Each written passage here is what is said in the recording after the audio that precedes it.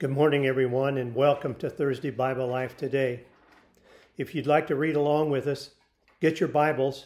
We're going to begin in the book of Acts, chapter number 19. We're going to see Paul in his third missionary journey at Ephesus, and then we're going to turn our attention to the book of First Corinthians, and we'll explain that when we get to that. But first, we're going to be looking at uh, some miracles that glorify Christ and validate the ministry and the message that the Apostle Paul had to say as he ministered to the people in Ephesus. We know that he was there for at least a couple years. Some people think that he may have been there as many as three years. So I'll begin reading in chapter 19 and verse 11 of the book of Acts. And this is Paul in the early portions of his third missionary journey. Now God worked unusual miracles by the hands of Paul, so that even handkerchiefs or aprons were brought from his body to the sick, and the diseases left them, and evil spirits went out of them. Then some of the itinerant Jewish exorcists took it upon themselves to call the name of the Lord Jesus over those who had evil spirits, saying, We exorcise you by the name of Jesus, whom Paul preaches. Also, there were seven sons of Sceva, a Jewish chief priest, who did also. And the evil spirit answered and said, Jesus I know, and Paul I know, but who are you? Then the man in whom the evil spirit was leaped on them, overpowered them, and prevailed against them, so that they fled out of the house naked and wounded. This became known to both Jews and Greeks dwelling in Ephesus, and fear fell on all of them. And the name of the Lord Jesus was magnified, and many who had believed came, confessing and telling their deeds. And also many of those who had practiced magic brought their books together, and they burned them in the sight of all. And they counted up the value of them, and it totaled 50,000 pieces of silver. So the word of the Lord grew mightily and prevailed. So these unusual miracles by the hands of Paul certainly glorified God and validated Paul as God's minister and the message that he proclaimed. And they certainly uh, validated God's power working in the midst of their people. And as is often the case, there were people that observed the things that were going on who were not called or commissioned by God for such a ministry, and yet they wanted to do and to perform like what Paul had done, and so they tried to do what he had done, to imitate what Paul had done. And it got them beat up and humiliated uh, by the man who was possessed by an evil spirit. So we should do our best at whatever God leads us to do, but be satisfied with that and not covet gifts or callings that other people have been given. And next week, when we get into some of the gifts of the Spirit that Paul speaks about in 1 Corinthians chapters 12, 13, and 14, we'll go over that thought again. Most all the other people heard of these things that had happened, and the Lord's name was magnified, even though fear had fallen upon most of them. And the result was that many repented from their involvement in idols and magic and confessed, and they brought their material and burned it before the people. So the word of the Lord grew mightily and prevailed. So that was quite a interesting passage that we read, wasn't it? And remember that Paul was called to do that, and he was empowered by God to do that and by God's Holy Spirit. But these other people that tried to imitate the things that he had done had not received that same calling, and it ended up in failure. And as I said, next week we'll talk about that more when we get into the gifts of the Spirit. Most Bible scholars believe that Paul wrote 1st and 2nd Corinthians during the time that he was ministering in Ephesus in his third missionary journey. And so, as is the case when we go through the Bible in a chronological fashion. Those of you who have gone through the Bible with us chronologically through the Reese Chronological Bible are understanding and aware of the way he presents the scriptures in a chronological fashion. Whenever Paul would have been in a particular place where many Bible scholars believe that he would have authored many of his epistles or letters from, then Reese would interject those in that particular place before he moves on. And that's the case that we're now going to do, in that we're going to turn our attention away from the book of Acts and the early stages of Paul's third missionary journey and look at what he had to say in the letters that he wrote of 1st and 2nd Corinthians. And those are pretty lengthy books. So we're not going to read all of the passages and all of the verses in those books, but we're going to look at some highlights, ones that I think that would be relevant to us and important for us to understand. Although I recognize that there might be portions that we skip over that are ones that you particularly might like or have interest in. So if that's the case, I apologize for that. So we're going to begin in 1 Corinthians chapter number 1. And I'm going to read the first three verses to kind of get us off on the right foot. Paul, called to be an apostle of Jesus Christ through the will of God, and Sosthenes, our brother, to the church of God which is at Corinth, to those who are sanctified in Christ Jesus, called to be saints, Remember that Paul teaches us, and the, the Bible teaches, that anyone who believes in Jesus Christ is considered to be a saint. Even though in some denominations and groups, to be sainted means you have to have probably died and have done many wonderful things during your lifetime. The Bible teaches and presents the idea that all who believe and trust in Christ are referred to as saints. So he says, To those who are sanctified in Christ Jesus, called to be saints, with all who in every place call on the name of Jesus Christ our Lord, both theirs and ours. So in the very first verse, he mentioned this man, Sosthenes, and he refers to him as our brother, which the way Paul writes and speaks, that means he's a fellow believer. He's our brother in Christ. Sosthenes, we first read about in the 18th chapter of Acts when Paul was in Corinth. And I'm going to read Acts 18, verse 17. Then all the Greeks took Sosthenes, the ruler of the synagogue, and beat him before the judgment seat. But Gallio took no notice of these things. Here in this letter, Paul refers to Sosthenes as our brother. So we take it that he had become a believer, a Christ follower, at one time, he had been the leader of the synagogue in Corinth, and now he's become a believer. And he's with Paul when he's penned this letter. So he says, Paul, called to be an apostle of Jesus Christ through the will of God, and Sosthenes, if I say that right, it's kind of a tongue twister, our brother. So now we'll drop down to verse, and then he goes on to say, Grace to you and peace from God our Father and the Lord Jesus Christ in verse number three.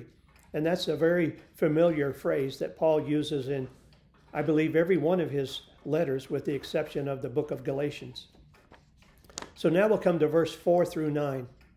And he will begin to speak a little bit about spiritual gifts. I thank my God always concerning you for the grace of God which was given to you by Christ Jesus, that you were enriched in everything by him in all utterance and all knowledge, even as the testimony of Christ was confirmed in you, so that you come short in no gift eagerly waiting for the revelation of the Lord Jesus Christ, who will also confirm you to the end, that you may be blameless in the day of our Lord Jesus Christ. God is faithful, by whom you were called into the fellowship of his Son, Jesus Christ our Lord. So Paul says that the Christians in Corinth came behind in no gift. I believe that means that every one of the spiritual gifts were present in some form and in some number in the church in Corinth. And as I mentioned earlier, next week we'll get into chapters 12, 13, and 14 and speak in depth a little more about spiritual gifts and what Paul had to say. But here he tells them at the beginning of this letter, You have come behind in no spiritual gift. In other words, all of the gifts are present in some of the people in your church family. However, Paul will have to correct them for errors that they have in the way that they practice and covet various gifts, and that will be part of what we look at next week. Note that they were also waiting for the revelation of Jesus Christ. The revelation, remember, is a Greek word, apocalypsis, which means a revealing or an unveiling.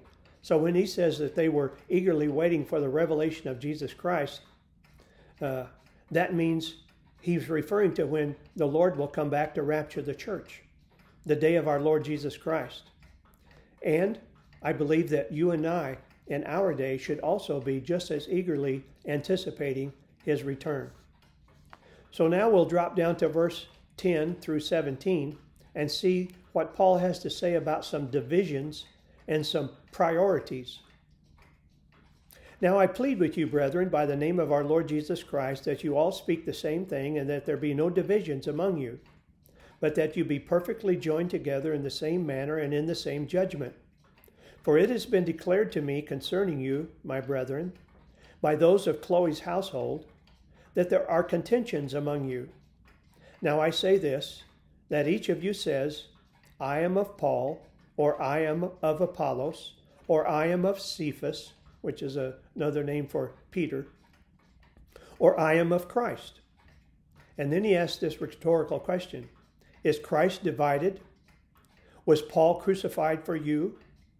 Are you or were you baptized in the name of Paul? In other words, he's wanting to get across to these people that the divisions that they're they're having and various groups saying, I'm following Jesus, I'm following Paul, I'm following Peter, I'm following Apollos. That's not a good thing. And he's going to point out to them, and that's why he asks these rhetorical questions. He says, I thank God I baptized none of you except Crispus and Gaius, lest any should say that I baptized in my own name. Yes, I also baptized the household of Stephanas. Besides, I do not know whether I baptized any other. For Christ did not send me to baptize, but to preach the gospel, not with wisdom of words, lest the cross of Christ should be made of no effect. So there are factions and cliques that seem to happen too easily and too often in this church in Corinth, but I'm also afraid that we would have to admit that it happens too often and too easy in our churches today. Paul's comment about this issue of baptism in verse 17 has brought about some controversy in modern Christendom. There are some people that try to build a doctrine over verse 17 saying that water baptism is not meant for our dispensation of the New Testament church age or the age of grace. I don't think that I completely agree with that. I understand what they're trying to say, and there are some people that say that if you require a person to be physically water baptized before they can be assured of their salvation, then you're adding something to the grace and the faith of Christ. And I agree with that, that baptism is not necessary for salvation. My opinion is that is it, it is an act of obedience and it is an outward witness or testimony of what goes on spiritually on the inside of us where Paul says in the book of Romans, we are to consider ourselves to having been crucified with Christ, buried with him in baptism, raised to walk a newness of life. And so we're not physically baptized with Christ. In that instance, baptism with baptized with Christ, I believe is a reference to being totally immersed in the identity of being with him and part of his body. But we'll deal with more with that more when we go on I just wanted you to be aware that there's some people that take that particular verse and believe that baptism is not meant for us in our day. And so we come to verse 18, a very important verse in chapter 1. And this will be the last verse that we look at in chapter 1, and then we'll drop down to chapter 3. But verse 18 of chapter 1 of 1 Corinthians says, For the message of the cross is foolishness to those who are perishing and that means perishing spiritually, not just physically dying. But to us who are being saved, it is the power of God. That's a worth a verse worth memorizing. If you especially after you understand it and apply it to your life. That the message of the cross is foolishness to those who are perishing, but to us who are being saved, it is the power of God. Now we're going to drop down to chapter number 3 and look at a couple of verses 16 and 17. And we'll see that he's going to tell us that we are the temple of the Holy Spirit. And then we'll also look at some verses very similar to that in chapter 6. Verse 16 and 17 of 1 Corinthians chapter 3. Do you not know that you are the temple of God and that the Spirit of God dwells in you? If anyone defiles the temple of God, God will destroy him. For the temple of God is holy, which temple you are. Now I'm going to leapfrog over to chapter 6 and read verses 19 and 20. Or do you not know that your body is the temple of the Holy Spirit who is in you, whom you have been given from God, and you are not your own? For you are bought at a price. Therefore, glorify God in your body and in your spirit, which are God's. So during the time of the Old Covenant dispensation, there was either a temple or a tabernacle present. But for almost all of the time of the New Testament church age, the age of grace or the dispensation of grace, there has not been a physical temple. But Paul brings out that you and I, as believers, have become the temple of the Holy Spirit because he dwells within us. The temple or the tabernacle was called the dwelling place of God because that's where the Ark of the Covenant was and the mercy seat above it, and that represented God's presence on planet Earth. But when the temple was gone, and in addition to that, when we read in the book of Ezekiel, when Judah went into captivity to Babylon, the glory of the Lord left the temple. And so now you and I our bodies are the temple of the Holy Spirit. In our dispensation, there is no physical temple, but the Bible teaches that we are the temple of the Holy Spirit of God. There will be a third temple built, and it will be there during the time of the tribulation period, we know, because the Bible speaks that the Antichrist will desecrate it. The Lord Jesus referred to it in the 15th verse of Matthew 24 in the Olivet Discourse as the abomination of desolation. And then there will be another temple that either will be refurbished or built new for the millennial kingdom. But we'll deal with that on down the road as well. So Revelation tells us that there will not be a temple in New Jerusalem. And I believe that that will be our address in heaven if we have such a thing, because New Jerusalem is identified as being the bride of Christ, and we find that in chapter 21. In fact, I'll read in chapter 21 of Revelation, verses 20 through 22 through 26. But I saw no temple in it, speaking of New Jerusalem. For the Lord God Almighty and the Lamb are its temple. The city had no need of the sun or of the moon to shine in it, for the glory of God illuminated it. The Lamb, speaking of Christ, is the light. Remember that Jesus said, I am the light of the world. And the nations of those who are saved shall walk in its light, and the kings of the earth shall bring their glory and their honor into it. Its gates shall not be shut all day, there shall be no night there. And they shall bring the glory and the honor of the nations into it. So, looking now at back in 1 Corinthians, in chapter 4, we won't read from it, but the emphasis of chapter 4 is to show that we are stewards of the mysteries of God and that we're to be faithful in teaching and revealing and sharing that mystery of God, the salvation of God, with other people. Chapter 5 is about the purging out of the leaven. Leaven represents sin or scriptural error in the world. And so we're to purge leaven out from the church body because a little leaven leavens the whole lump, as he said.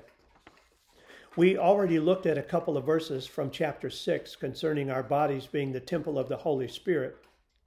He wants us to sanctify our bodies for God's purpose and not for our own. So I'm going to read from chapter 6 of 1 Corinthians, verses 9 through 11. We're to have a change of heart and a direction of life after we become believers. In verse 9, he says, Do you not know that the unrighteous will not inherit the kingdom of God? Do not be deceived. Neither fornicators, nor idolaters, nor adulterers, nor homosexuals, nor sodomites, nor thieves, nor covetous, nor drunkards, nor revilers, nor extortioners will inherit the kingdom of God. And such were some of you. But you were washed, but you were sanctified, but you were justified in the name of the Lord Jesus and by the Spirit of God. This is very similar to what Jesus himself said to the woman who was caught or taken in adultery and then thrown down on the ground before the Lord as he was teaching in the temple area. How, when no man condemned her, when Jesus said, He who is without sin, let him cast the first stone. And then he began to write with his finger in the dust or the sand of the ground. And many people speculate that he may have been spelling out the various sins that those guys that brought this woman to Jesus had been guilty of. And so many people think that because of that, none of them threw stones, but one by one they left. And then pretty soon Jesus looked up and no one was there but the woman. And he said, Where are those your accusers? Has no man accused you? And she said, No man, Lord. And then he said, Neither do I condemn you. And then he said, Go and sin no more. In other words, don't continue in the lifestyle that you were in prior to coming to me. Make a decision to live for God and to live for righteousness' sake. So what Paul was telling these people were was was that they had been involved in all of those heinous sins that we mentioned one right after the other. There are two or three of those that I mentioned that are social justice issues of our day, and they are kind of uh, pet peeves of people that want to point their finger at people that say that the Bible is God's word and say that that is being prejudiced and self righteous and judgmental. But the people that believe that are not the ones that say it. God Himself said it in His Word. And He's basically saying that it doesn't make any difference what your sins have been before you come to Christ in faith anyone can be saved from any type of lifestyle. But the idea is that Jesus wants us to know that after we trust in Him and we're born again, we're not to continue on in a lifestyle that the Bible teaches as sinful. So, Paul addressed marriage and relationships in chapter 7 of 1 Corinthians and the importance in living in a manner to please the Lord. Chapter 8 addressed our consciousness or our conscience rather, in not offending other people, especially new believers, by our diet or the things that we eat or drink. Chapter 9 addresses a pattern for self denial in living in such a manner to receive a crown or, or a reward when we uh, come before the Lord at the judgment seat of Christ. Chapter 10 explained the Old Testament stories, some of them, and gave them as examples for us to learn from to help us not repeat the same mistakes and the sins that they were guilty of. And then it reminds me of that phrase that we are familiar with. What we learn from history is that we don't learn from history. Chapter 11 deals with the institution of the Lord's Supper. Remember how the Lord changed the Passover meal the night that he was betrayed into the Lord's Supper? And he talked about the bread, the broken bread representing his broken body, and the wine representing the blood that he shed for the payment of the sins of the world. And he talked about, Paul did in chapter 11, the importance of our examining ourselves before we take part in the Lord's Supper so that we won't have any unconfessed sins before the Lord when partaking of the Lord's Supper.